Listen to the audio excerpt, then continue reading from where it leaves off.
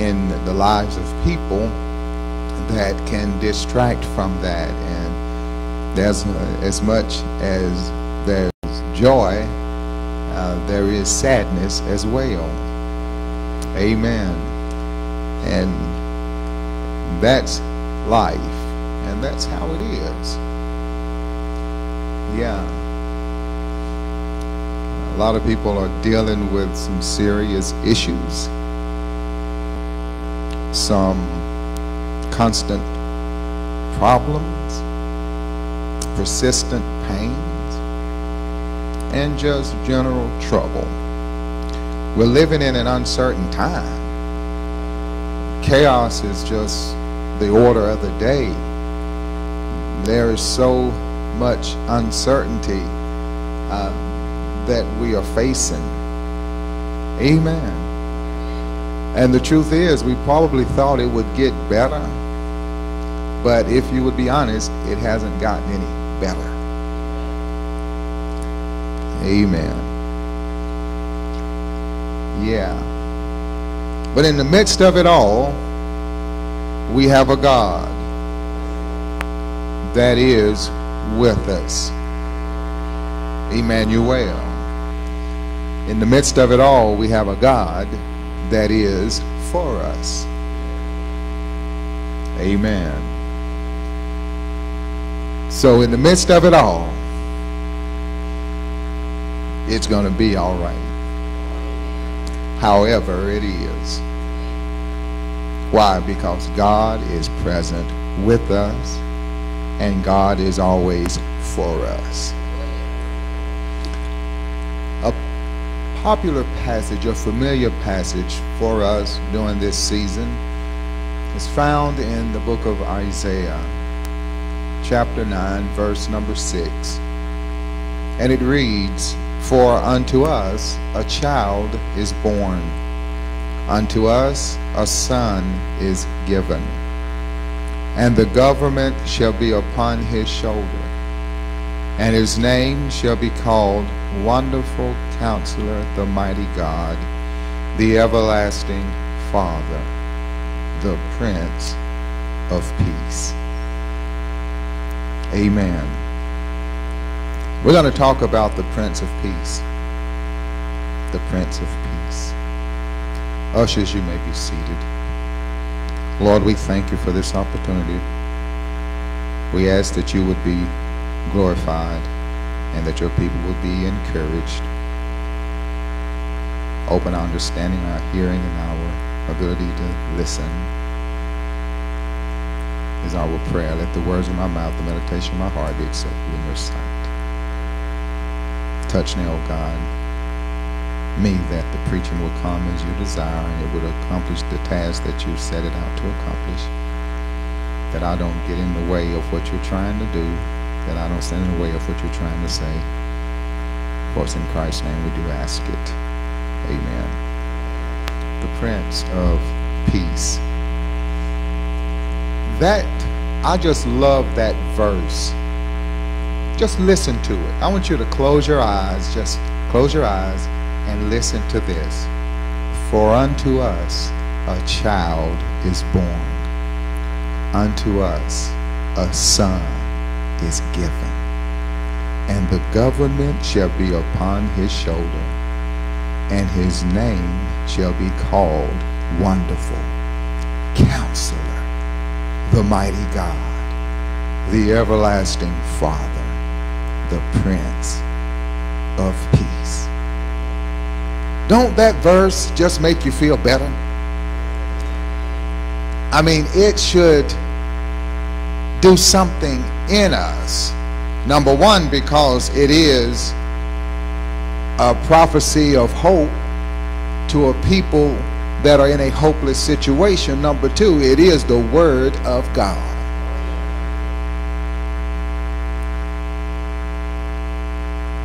Isaiah wrote this 700 years before Christ was born. Christ came, yes, the child was born, but the government that they were expecting him to set up hadn't been established yet. But look at your neighbor and say, but it is. Amen. 700 years before Jesus was born, Isaiah prophesied that this they would call him because these, these would be his uh, characteristics. This would be the titles. This would be some of the positions and the places he would hold in our lives. You do remember last week when I told you that um, Ahaz was the king and he was not the best king, and because of his disobedience to God, that Israel, uh, Judah, had been plunged into a place of darkness and despair, fear, chaos, uncertainty. They were in a horrible pit. They were in a terrible place. They could not see the light at the end of the tunnel. They were in total darkness, separated from God. Amen. Enemies around them desiring to destroy them. No hope and no help but God. How many know God is always ready, willing, and able? But God. Listen to me. God spoke this word through the prophet Isaiah in a time when the people really needed it. Assyria was, was pressuring Judah to form an alliance, join in with us. Ahaz was afraid of the kings that was going to attack him. Look at what God did in the midst of all of that. Sent his promise. He sent a word. Won't God give you a word? I just need somebody to raise your hand. If you've ever found yourself in a place like this and you didn't even, you was just spinning and spinning, but God spoke a word to your heart. Anybody ever experienced that? Won't he do it? What a mighty God he is. And look at what he promised. He promised the child. He said, unto us a child is born, unto a, us a son is given God speaks to them in the darkness. He sends a light to lead them out of the darkness. God will send a light to lead us. Amen. He'll lead you. Oh, the question is, will we follow? Because he'll lead us. Amen. This prophecy is a message of hope. And we all need hope. Even in the best of times, it's some dangerous times. We all need hope. We're never at that place where we uh, always have it made and on top of the situation. We always need hope. And God gives a message of hope in the midst of the nation's darkest hour. God will give you a message of hope, a word to help you, to lift you, to encourage you, to strengthen you, to uh, motivate you in the worst of your times and situations. That's the kind of God he is. God will speak when you don't hear anything else.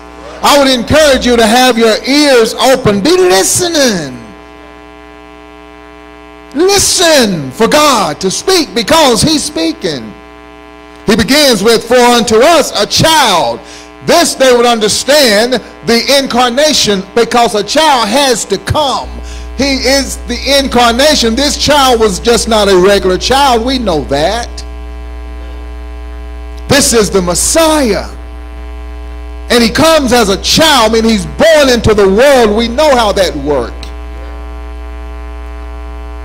The promise of this child that would lead them, that would provide for them, that would deliver them not only do we see the promise, we see the place of this child. It said, The government shall be upon his shoulders.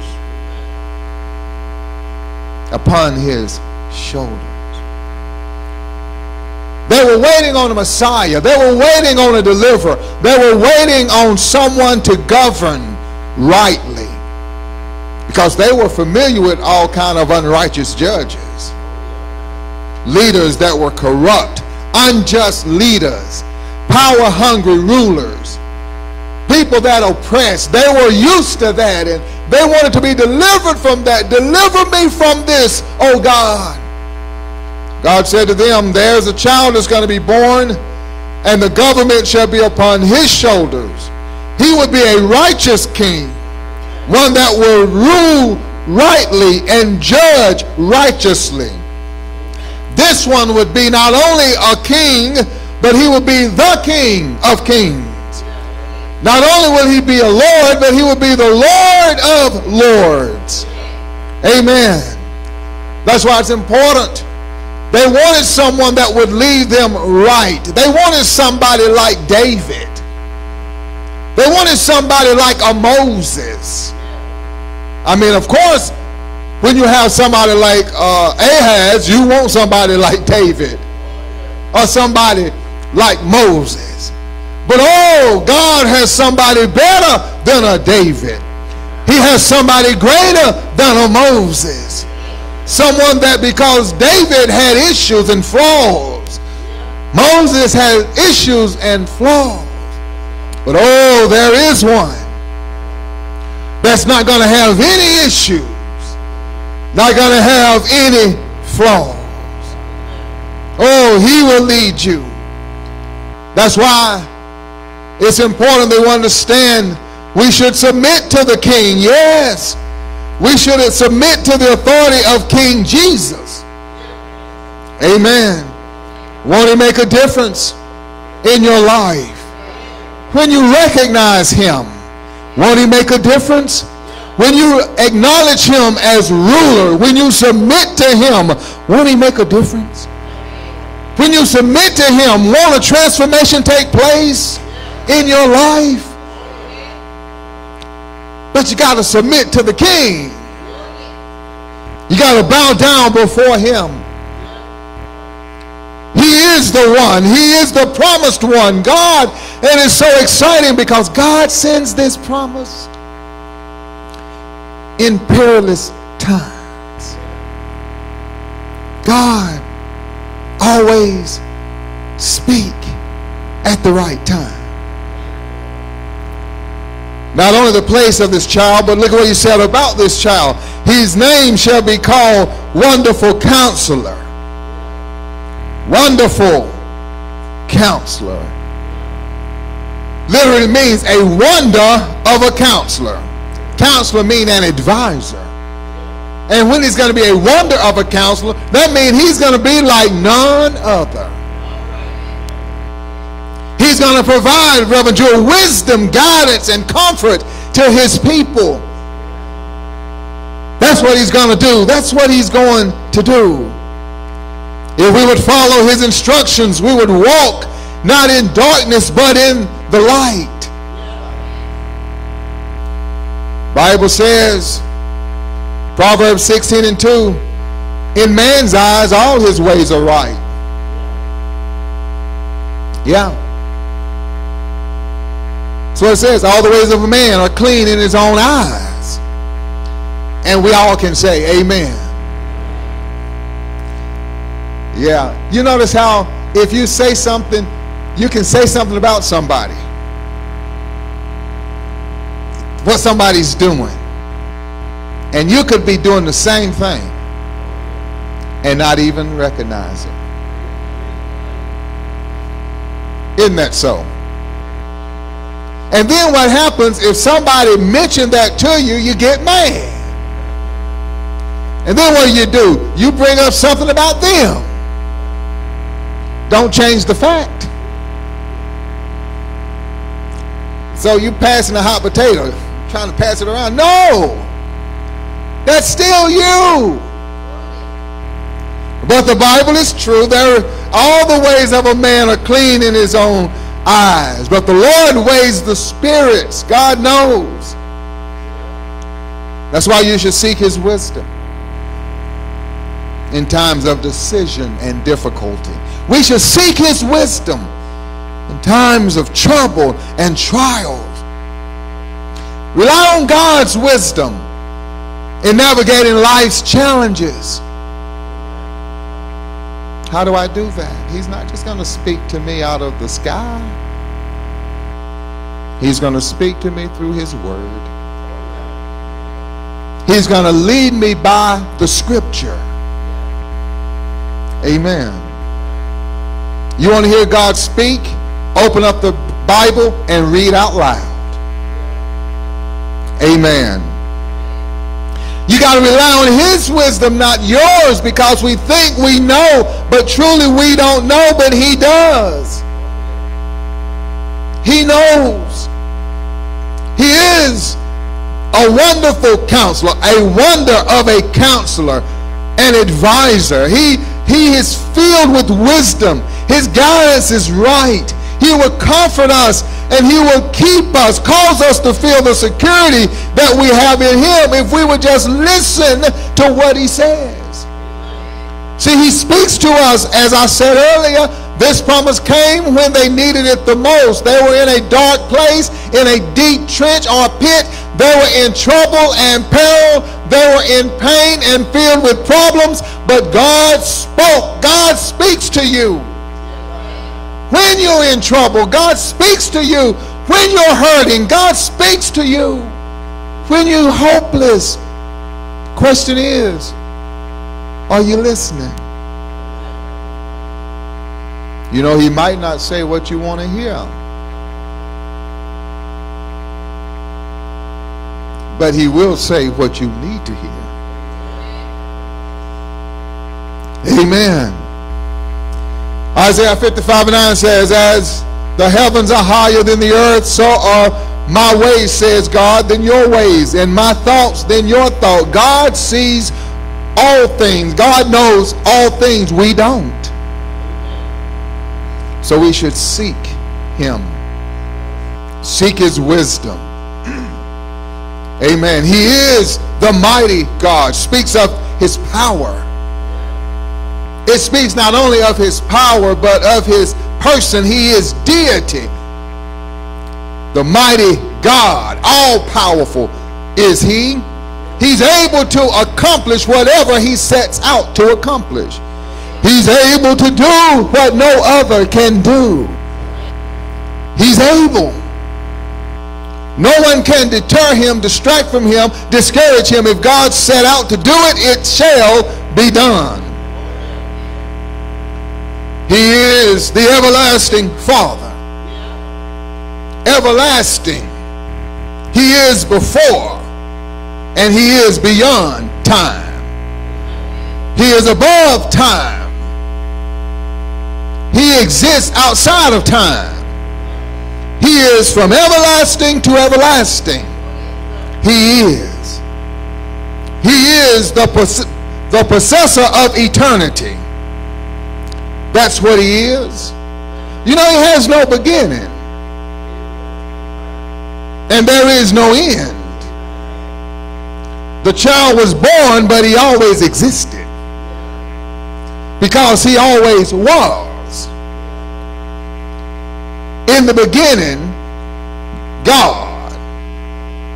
It didn't say God started at a point. He is beginning. There is nothing before him and there's nothing after him. He is the everlasting Father. Imagine they thinking about their fathers and they're thinking about their kings and their leaders. Their leaders came. See, leaders come and leaders go. But God is the everlasting Father. He's always present. Amen. He is the Prince of Peace. That's who he is. He is the Prince of Peace. Everybody's seeking peace. Everybody want peace. He is the Prince of Peace. There is no peace without him. He is the Prince whose coming brings peace. Amen. In the past, his coming made peace with God. In the present, he makes peace coming to him. We find peace in God. In the future, my brothers and sisters, his second coming will usher in a kingdom of peace.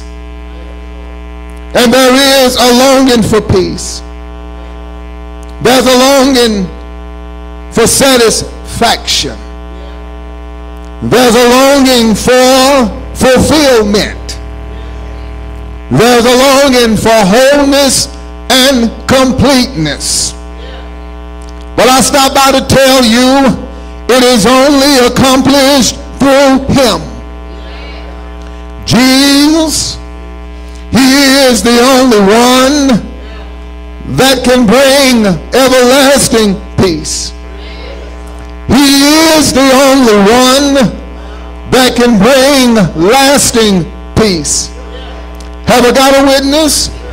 He is the only one that can hold you when you are hurting. Yes, so if you are wandering now in your walk, understand uh, he is the wonderful counselor. He will lead you by his word. He will guide you through your wilderness. He will be with you as you go through your storms. He will deliver you from the path of trials and trouble if you only follow him. And if you're weak, he is the mighty God. If you're apprehensive about your situation, he is the everlasting Father. Yes, don't worry uh, about what tomorrow may hold. You love and serve the God uh, that holds tomorrow. And you don't have to worry uh, about the what of tomorrow or the if of tomorrow. You have the who of forever. Ain't God all right? If Jesus is your who, then the what will take care of itself. You've got to learn uh, to trust him uh, even when you can't trace him. And if you find yourself uh, troubled in mind, he is the Prince of Peace. Have I got a witness? Man is in a turmoil. Yes, in himself. Have I got a witness? This world uh, we're living in uh, is filled uh, with chaos and trouble. Um, have I got a witness? There's wars and rumors of wars all over the world. Um, there's sickness and destruction, hunger and pain all over the world. Um, Have I got a witness? Uh, yeah, man is seeking uh, to have, yes, completeness and wholeness uh, within himself. Uh, but I stop by to tell you, uh, even if you answered world hunger, and even if you cause the wars to cease, you will still have a war on the inside of yourself. Have I got a witness? Uh, I know I'm talking to somebody. Uh, Sometimes the battle is not on the outside, but it's on the inside. Ain't God all right? I don't know about you, but my biggest enemy, my biggest trouble is not with anybody but myself.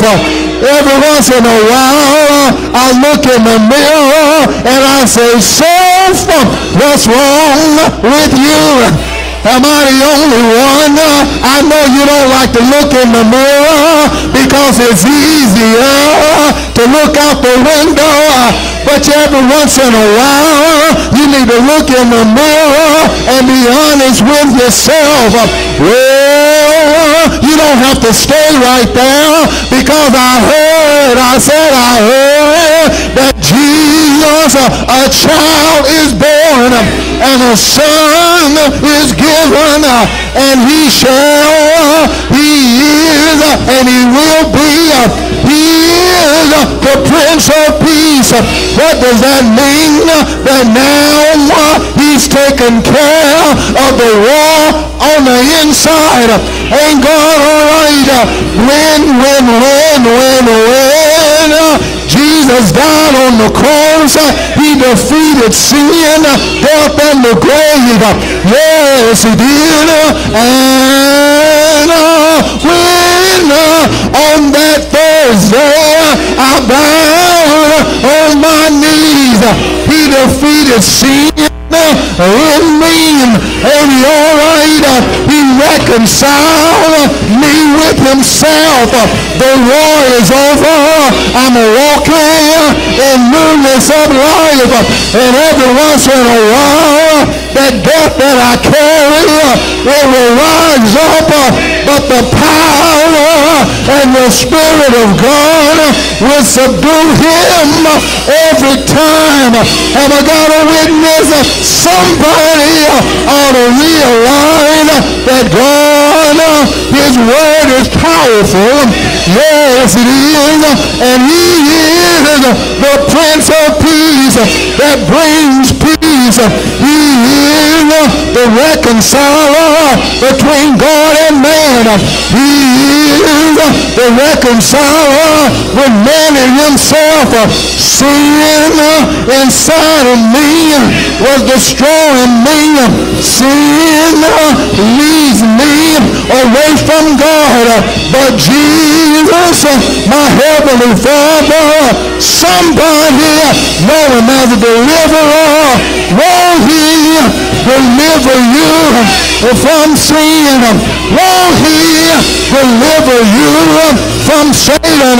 Won't he deliver you from self? You walk in peace and newness of life. He is. Do you know he is? Do you know he is? Anybody know he is? What is he? He is the Son of God. He's divine in his nature, unique in his relationship. He was God and he was with God at the same time. I can't explain it, but I believe it. And he all right?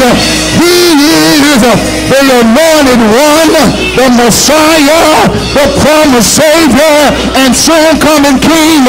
Do you know him? He is the Lord our Savior. He is full of authority and mastery. There is none like him. There is none beside him. He is our Savior. He came down through 42 generations. He came down from heaven to earth. Look at him when he left heaven. He waved goodbye to his Father, made that journey, put on the cloak of humanity. Yes, he was the deity and he was wrapped up in humanity. A child is born, a son is given. He is, I said he is God with us, Emmanuel. He walks with us. He talks with us. He let us know that we belong to him. Do you know him? He all right? He is the Son of Man. Speaks to his humanity. Look at him if you would. He was a baby in his mother's arm. His mother looked at him, but it was he that looked at his mother before his mother looked at him. Look at him. He was a baby that had to take milk. He grew up like you and me. He had to eat food and drink water even though he's the bread of life and everlasting water. Do you know him? Have you tried him? Won't he make a way out of no way? I'm just about done. He is the Lamb of God, the sacrificial Lamb who's got the throne for the sin of the world. He is the Word of God, the Word made flesh. I heard John say in the beginning was the Word, and the Word was with God, and the Word was God and everything that was made was made by him. There was not anything that was made not by him. And he all right, it goes down to say he came to his own, and his own received him not. But as many that receive him, to them give he power to become sons of God. Look at your neighbor and say, did you receive him? Are you a child of God? Yes, he is the Lamb of God. He is the Word made flesh. The Bible says he is Alpha and Omega.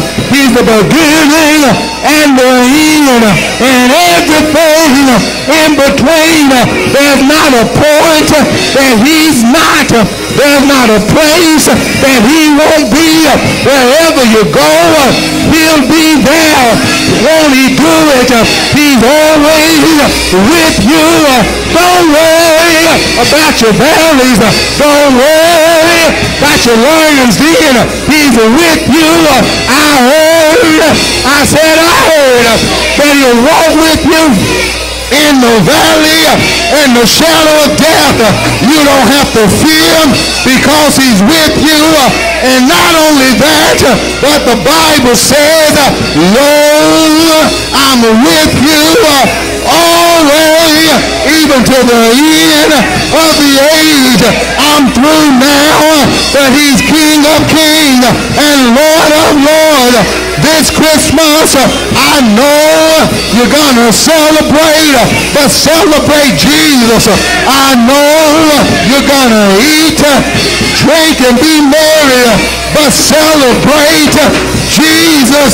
If not for Jesus, we'd be lost and in our sins. If not for Jesus, I'd be an enemy with God. If not for Jesus, I'll be walking in darkness and not in light. If not for Jesus, I'd be hopeless and helpless. But I thank God.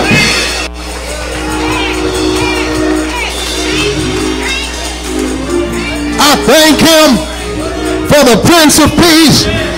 Do you know him? I said, do you know him? Have you tried him? Won't he hold you when you get weak? Won't he help you when you don't know what to do? Won't he guide you? down the right path? Won't he put a smile where you had sadness? Won't he give you reason and motivation? Won't he help you navigate life? Won't he be there when you need him? Won't he be there when you call him? He's always there, even in darkness. When you don't see him, he is present because his word says so. Ain't he all right?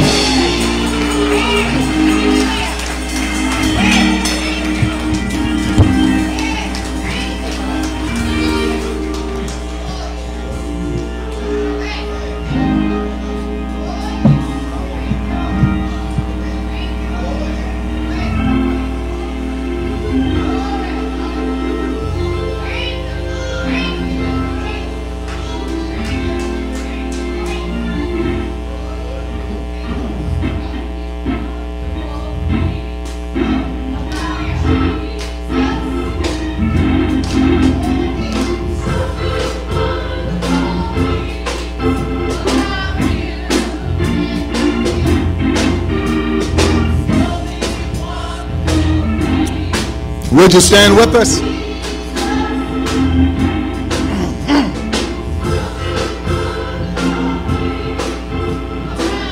Door of the church is open.